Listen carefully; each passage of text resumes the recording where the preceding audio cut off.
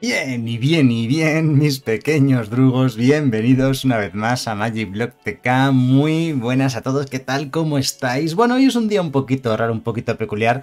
Lo habréis notado últimamente, he subido pocos vídeos al canal, eh, así digamos, actuales, eh, de Magic Arena o de cómo está el metajuego y todo eso. Y hoy quiero retomarlo. Por cierto, además, hoy YouTube me ha notificado que cumplimos 5 años. 5 años de andadura, 5 años ya aquí todos juntos. Así que bueno, es un día que supongo que habrá que que conmemorar de alguna manera.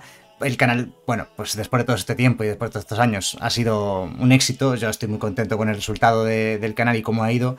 Y, bueno, ha cambiado mi vida completamente en estos últimos años gracias a, gracias a Magic. Bueno, Magic siempre ha estado presente en mi vida y siempre ha cambiado mi vida para, para bien de muchas maneras. Y bueno, y en otro proyecto más que he embarcado en Magic, pues ya digo, es, estoy muy satisfecho con el resultado y os tengo que dar las gracias por haberme dado siempre vuestro apoyo y todo eso. Yo últimamente no he estado muy contento con Magic, he estado el último mes así bastante mm, disperso, bastante distante con las novedades de Magic, con el tema de los anillos, con el tema de las novedades y eso, pero bueno, eh, Magic siempre vuelve a llamar a tu puerta y siempre te dice, oye, que han salido no sé qué mazo, que ha salido no sé qué carta, que está jugándose no sé qué cosa, y dices, venga, va, vamos a echarle un ojillo. Así que en el vídeo de hoy quiero con todos vosotros pegarle un repaso a cómo está Magic Arena, a cómo está el metajuego de los principales formatos, eh, estándar, explorador y, e histórico, ¿no? los tres formatos digamos más importantes de, Magic Arena, los más jugados y, los, formatos que bueno, más me gustan realmente, la verdad es que están muy bien todos ellos. Estándar, hablemos primero de estándar. Estándar este año es muy raro, ¿vale? O sea, este es por primera vez en la historia prácticamente, en casi los 25 años que tiene el formato es la primera vez que cambian el sistema de rotación. Normalmente en septiembre dejarían de ser legales en estándar las cuatro colecciones más antiguas. Y este año no va a ser así. Este año las cuatro colecciones más antiguas van a seguir en estándar. No, va, no van a dejar de valeros ninguna de las cartas que tengáis actualmente de estándar, van a seguir valiendo. Así que todas las cartas eh, que tengáis del estándar actual seguirán valiendo el año que viene. A pesar de que en septiembre será una nueva colección, tendremos un estándar en lugar de con las típicas entre 5 y 9 colecciones, vamos a pasar a las no tan típicas entre, creo que van a ser 9 y 13 colecciones en total como máximo, ¿no? A partir de ahora. Así que bueno, la rotación en lugar de ocurrir, digamos que una colección está casi dos años, digamos, o cerca de dos años en estándar, en lugar de dos años va a pasar a ser tres ese, ese rango. Entonces, bueno, estándar ahora mismo no es un formato que, atraiga demasiado, porque no puede haber muchos cambios. Tenemos las mismas cartas acumulándose en este formato durante los dos últimos años y va a seguir así siendo por un tercer año. Así que seguramente, aunque la colección de septiembre sea muy buena o cambie mucho el metajuego, sigamos más o menos con lo que tenéis aquí delante. Es bueno y es malo. Es malo, lógicamente, porque no hay esa rotación, no hay ese movimiento, no hay ese cambio en el metajuego y vamos a ver cómo otro año más las mismas cartas van a estar presentes en, los mazos más tops. Menos mal que al menos hace cosa de un mes o un mes y medio hicieron esas prohibiciones tan importantes que se cargaron algunos de los mazos más predominantes del formato, como el Kikijiki, la invocación, el, el, invoke eh, invocar desesperación, que no me sale el nombre, eh, el destruir bancos criminal, claro, que con esos nombres a quién se, quién se va a acordar de ellos. Bueno, esas cartas que prohibieron, que han hecho que el metajuego se abra un poquito más, pero vamos, tened por seguro, yo, yo he entrado, ya digo, llevo un mes o un mes y medio sin jugar nada competitivo de Magic ni mirar nada de estándar, ni nada de eso, y no hay ningún mazo nuevo, obviamente, en estándar, pero sí que hay sorpresas, ¿no? Por ejemplo, Monored Wins, este, este listado, por cierto, que no lo he comentado, Vamos a ver los listados de los mazos más jugados según Aetherhub. Aetherhub, ya lo hemos comentado aquí en el canal muchas veces, Aetherhub tiene un tracker llamado MTG Assistant, que podéis buscar, si buscáis esto en Google lo vais a encontrar, lo podéis descargar, que registra vuestras partidas, vuestros mazos y que os da información pues también de otros jugadores, ¿no? Es bastante útil, bastante práctico y además eh, te saca en pantalla, mientras estás jugando tu partida de Magic Arena, te saca información que puede ser relevante para la partida. Está bastante bien. Bueno, pues este tracker recoge los mazos que la gente juega y es bastante fidedigno en la realidad, lógicamente, porque eh, fijaos, la información proviene de cientos de miles de partidas ¿no? que, juega la gente. De hecho, concretamente de Monored Deck Wings, bueno, Monored Wings, que es el mazo más jugado, la mono agresiva, tiene muchas versiones, es cierto, ¿vale? La mono roja agresiva se puede jugar de muchas formas distintas, pero bueno, en global suman más de 26.000 partidas solo en este tracker. Pensad que no todo el mundo tiene este tracker, de hecho muchos de vosotros será la primera vez que oís hablar de este tracker. Bueno, pues solo de este mazo, y esto es de los últimos 30 días. 26.000 partidas registradas de Monored, el mazo más jugado con diferencia eh, actualmente en estándar. Estamos hablando siempre de Best of One, al mejor de una partida, que es como, como juega la mayoría de la gente. Así que voy a centrarme en ello. y casi el 18% del metajuego, más del 17% del metajuego está dominado por mono roja agresiva. Yo os digo lo de siempre, si sabéis que casi todo el mundo, bueno, o una gran parte de la comunidad está jugando mono red agro, jugad un mazo que gane a mono red agro, es decir, cualquier mazo que tenga formas de ganar vidas y anticriaturas. Y ahí ya irás bien contra mono red agro, ¿no? Pero me ha sorprendido, por ejemplo, que se les de encantamientos eh, esté tan arriba. Y yo es que, claro, esto no lo vi venir, pero el Calix, el Calix este que sacaron en la última colección, que era mítico, yo no vi que fuese a ser tan bueno para este mazo, pero sí que lo es y le ha dado un salto de calidad al mazo. Ya no es free to play, ¿vale? La monored es free to play. Si queréis empezar a jugar en Magic Arena ahora mismo, jugad mono red, es una de las mejores opciones, o mono blue, son súper baratas, como podéis ver. Aquí el listado genérico que te propone eh, Hub eh, tiene cero míticas y solo dos raras, o sea, es un chollo a nivel inversión económica. Y de hecho, si lo queréis montar en Magic físico presencial, 39 ridículos dólares, que para ser Magic es baratísimo, ¿no? Bueno, eh, como veis, los mazos más jugados también son los más baratos, ¿no? Incluso la Mono Blue Tempo que os decía, 26 dólares.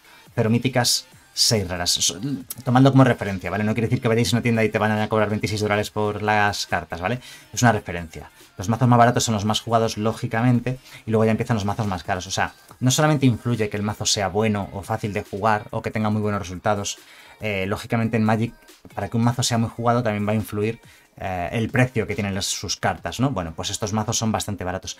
Eh, Seleccionar encantamientos ya no es tan barata, ¿de acuerdo? Quizás en Magic en papel sí, porque son 90 dólares, que es relativamente barato para Magic, pero no es barato en Magic Arena porque son 7 míticas, 22 raras, son muchas raras y míticas, ya no es un free to play. El, mes, el año pasado sí que era free to play, lo recomendamos mucho aquí en el canal, pero ya no. Bueno, me gusta que se Enchantments en encantamientos esté tan fuerte, ¿no?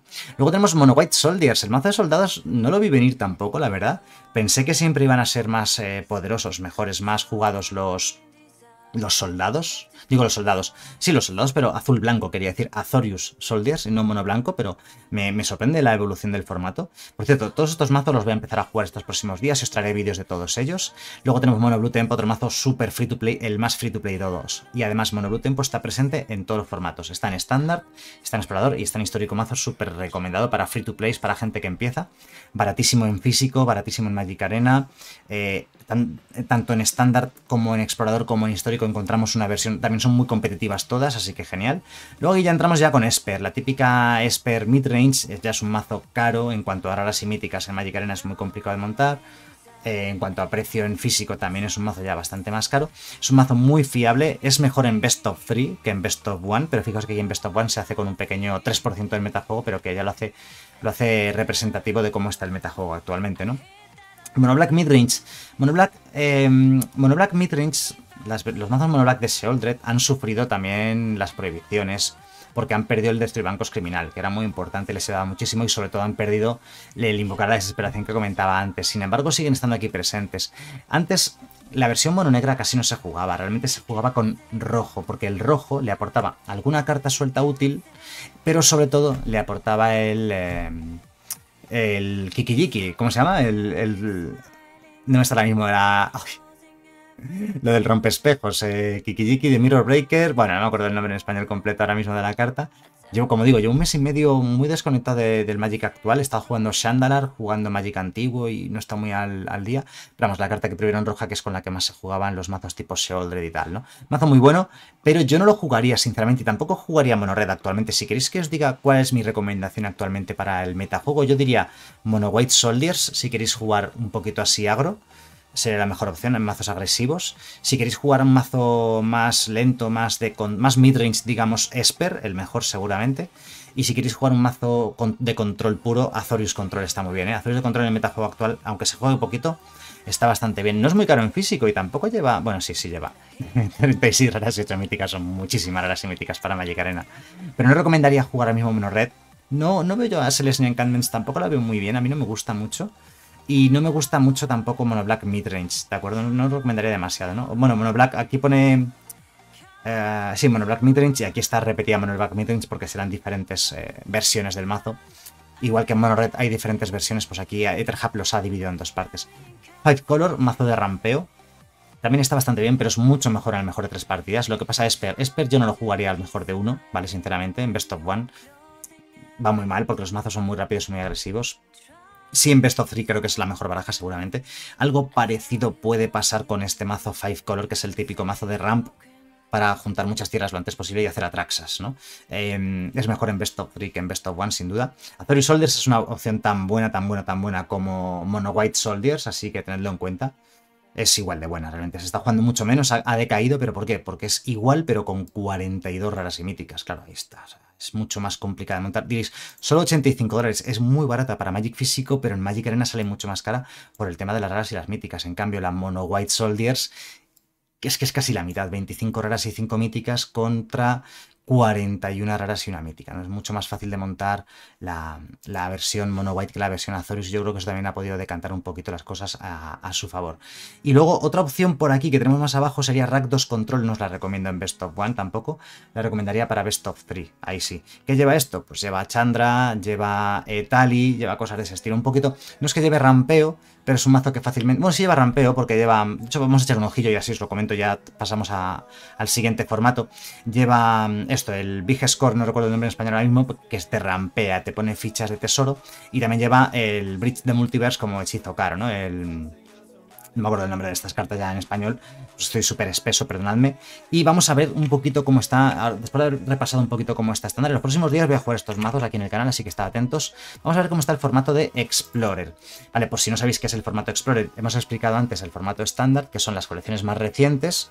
Ahora mismo son las nueve colecciones más recientes, podría abrir Magic Arena para verlo, pero bueno, no, no creo que haga falta. Explorer incluye todas las colecciones del 2012 en adelante. En Magic Arena se complica la cosa, porque Magic Arena nació en 2017, entonces oficialmente las colecciones que hay son del 2017 en adelante, pero han ido sacando cartas que pertenecen a colecciones que son del 2012 en adelante y por tanto son legales en Explorador. Han sacado alguna antología que son cartas, packs, packs pequeños de cartas específicos que valen para, para Explorador y alguna otra carta que se ha publicado para otros formatos que existen en Magic Arena que también pertenecen a Explorador, ¿vale?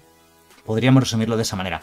Explorador realmente es el formato Pioneer, ¿vale? El formato Pioneer es del 2012 en adelante con todas las colecciones, pero como en Magic Arena faltaban las colecciones del 2012 al 2017, faltaban 5 años de colecciones, 5 años de cartas, que son 5.000 cartas, y las están sacando poquito a poco. Mientras se consigue tener Pioneer en Magic Arena, lo han llamado formato Explorer por, la falta de esas cartas. Ya queda poquito realmente para, para tenerlo. Y os iba a mostrar aquí en Magic Arena, que iba a ser más fácil, el tema de las colecciones por un momento de pausa, perdóname que, que me distraiga, que me, me, vaya ahora con esto.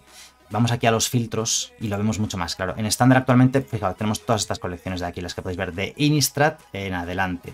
Normalmente en este septiembre rotarían las colecciones más antiguas, serían las cuatro más antiguas, eh, Nueva Capena, Kamigawa, Innistrad Compromiso Escarlata e Innistrad Cacería de Medianoche, pero este año no, este año se van a quedar en estándar y añadiremos nuevas colecciones a partir de septiembre hasta que se junten, pues al final ya os digo, ahora mismo hay cinco, hay nueve colecciones en total, hasta un total de 13 colecciones llegará a haber en estándar, cosa que no ha habido nunca. Siempre el tope son estas nueve y en septiembre las cuatro más antiguas salen y entra una nueva, ¿no?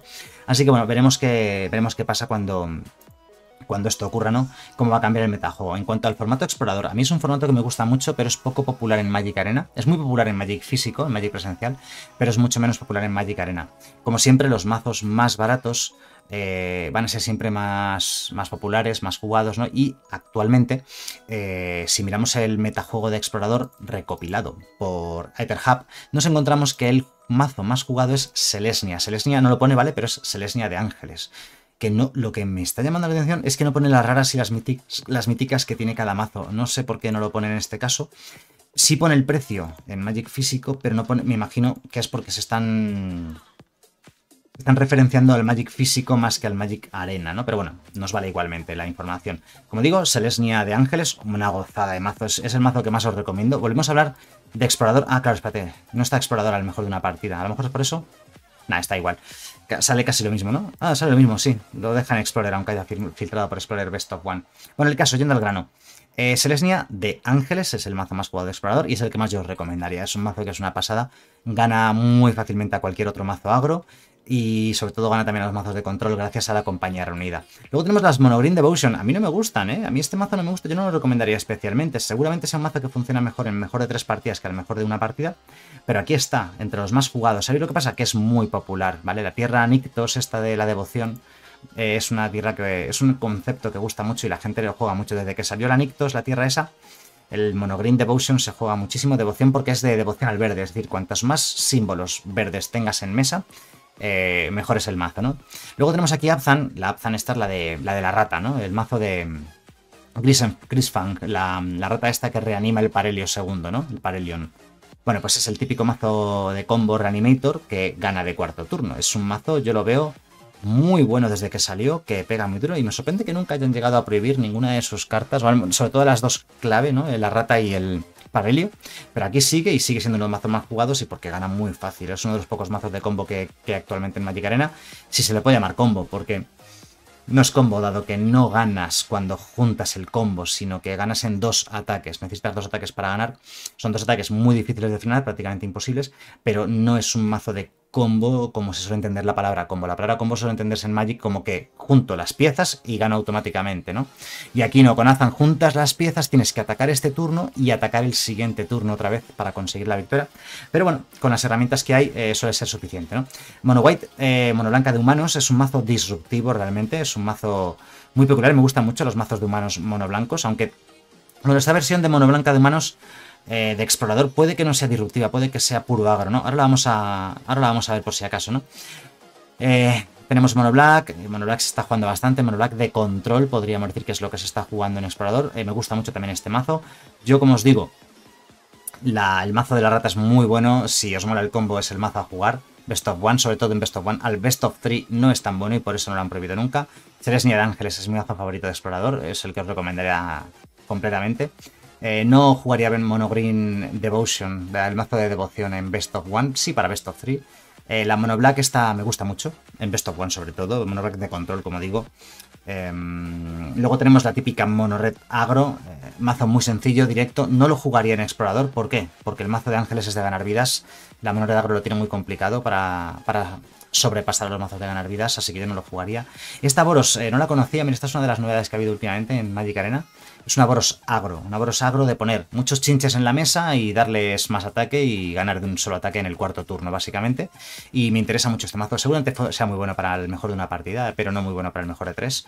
Y luego tenemos aquí las Rakdos Midrange, estas que se están jugando, que llevan Rakdos Midrange o de control, según lo veis, que llevan cartas del Señor de los Anillos. Llevan el anillo único, y la, artilleros orcos se llaman, o arqueros orcos o algo así. Eh, dos de las cartas nuevas de esos años que han resultado ser buenas en construido, de las poquitas, y que se están jugando en este mazo. Eh, así que bueno, a ver si un día lo pruebo para, ver qué tal va todo eso, ¿no? Mono Blue Tempo, en este caso es Mono Blue de Spiritus, no es una Mono Blue Tempo al uso de con curiosidad para robar cartas extras, no, no, es una Mono Blue de Spiritus, pero vamos, la Mono Blue Tempo de robar cartas también se podría jugar en explorador sin problemas. Y luego, bueno, pues Dimir Rogues, el típico mazo de bribones, ¿no? De bribons, como decimos de broma aquí en el canal. Pues bueno, explorador es un formato que me gusta y que creo que está...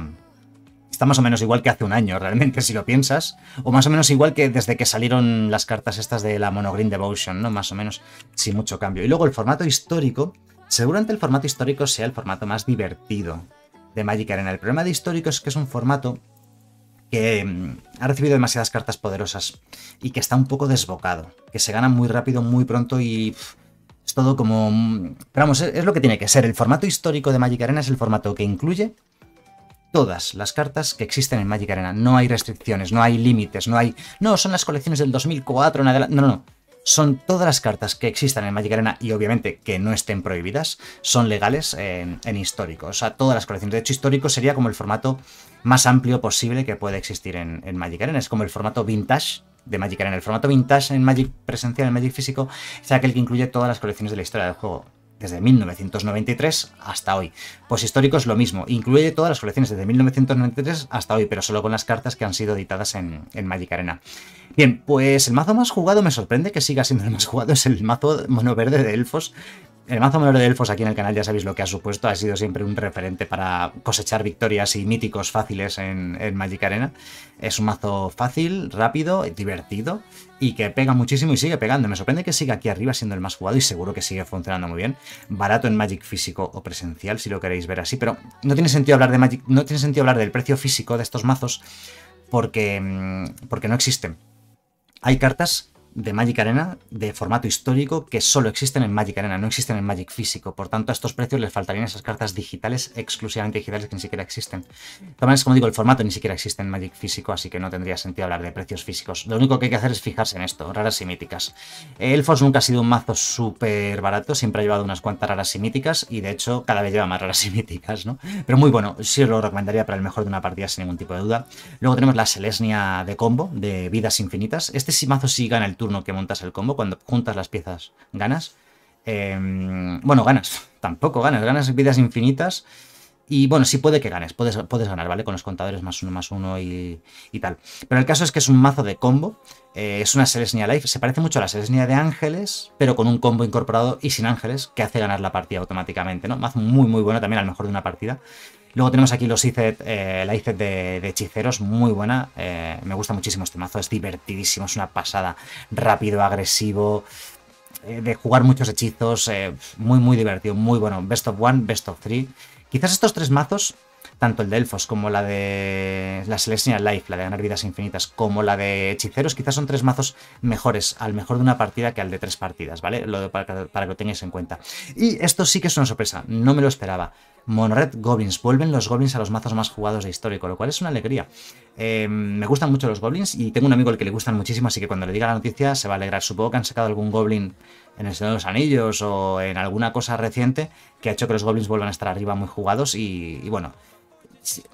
No, no os rayéis, ¿vale? Como podéis ver, 45 raras y dos míticas. Así es la vida de Magic. Si quieres un mazo tienes que invertir dinero o tener mucha, mucha paciencia hasta que juntes las cartas suficientes. Tenemos aquí otra versión que pone IZ Giganta, IZ Giganta, perdón, ¿vale? Va a ser aquí, que aquí hay una y aquí hay otra. La diferencia es, el mismo mazo. La diferencia es que esta versión es de 34 raras y esta otra versión es de 10 raras, pero el mazo será el mismo cambiando un pack de cartas, ¿no? Supongo, ¿no? Luego por aquí tenemos Golgari de veneno, más sorprende también, mazos de veneno. Esto es lógico porque en New Pyrex se salieron temática de veneno y seguramente alguna carta más ha potenciado esto. Este mazo lo tengo que probar. Golgari veneno vuelve al, vuelve al menú, vuelve al veneno en el menú. Luego Rakdos eh, Midrange. Ah, os dije antes, hace un rato, me he equivocado, en Explorador. La Rakdos Midrange con cartas en los anillos no, porque en Explorador, antes cuando lo dije, que me equivoqueamos un momentito atrás, en Explorador, os dije, esta Rakdos de aquí es la que lleva... Eh, es la que lleva eh, lo de cartas de los anillos. No, no, no puede llevar cartas de los anillos porque no son legales en Explorador, me he equivocado. Es una Rakdos Midrange, pues típica, ¿vale? Con, con las cartas típicas que ya conocemos, con la fábula del rompespejos, que antes no me salía el nombre, se parece mucho a la de estándar, añadiendo algunas, algunas cartas adicionales, ¿no? Efectivamente, me he equivocado. A la Rack 2 Midrange que me refería con cartas del Señor de los Anillos es a esta Rack 2 Midrange de aquí. Y las cartas del Señor de los Anillos son precisamente estas que podemos ver. El anillo único y luego también los... Em, maestros eh, arqueros er, orcos o algo así se llama la carta, ¿no? Sean estas cartas de aquí las que hacen referencia, que antes lo dije mal, a, los Anillos que se juegan en histórico, ¿no? Luego tenemos, eh, obviamente, como es habitual, ha cambiado, ¿verdad? Esto. Ha cambiado. Nos ha metido aquí Mono de encantamientos de repente. No me sorprende. Nos ha metido por aquí... Mm, la Monored Agro la han bajado mucho y está, se la acaban de actualizar justo ahora mismo, ¿vale? Voy a recargar la página otra vez. Vale. Vale, sí, sí, justo. Es que recargo la página y justo se actualiza eh, en directo, se actualiza en vivo. Y claro, va, van cambiando las cosas, ¿no? Monored Agro es un mazo que no recomiendo demasiado, en un formato en el que uno de los mejores mazos es un mazo de ganar vidas infinitas, así que no juguéis Monored, no lo veo muy buena idea. Los mazos incoloros sí molan bastante, son buenos si os gusta el tema. Y me ha sorprendido ver también muy arriba los mazos de, de Keo, ¿no? Los mazos de, de cara al oponente, Dimir, azul-negros, típicos mazos parecidos a los mazos de, de bribones, rogues, ¿vale? Pero eh, supongo que llevará rogues, ¿no? Me imagino. Ah, pues no, esta versión no lleva ningún rogue directamente. Nada, nada, es de dequeo directa, ¿no? A la cara del rival totalmente, efectivamente. Quería mirarlo para estar seguro. Lo que sí que llevan y que os voy a decir es el cangrejo, ¿no? El cangrejo dequeador.